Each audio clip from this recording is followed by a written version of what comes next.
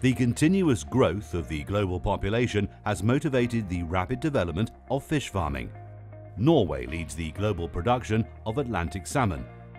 This is partly due to technological advancements in Norway's aquaculture industry, like the adoption of recirculating aquaculture systems.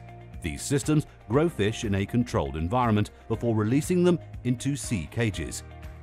Recirculating aquaculture facilities can improve animal welfare, save water and reduce losses due to diseases, environmental changes and escapees. However, some challenges remain.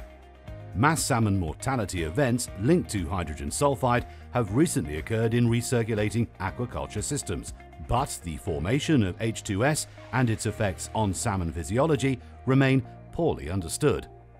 The mucosal surfaces of fish interact with chemicals in the water more than any of their other body parts and are highly sensitive to environmental changes.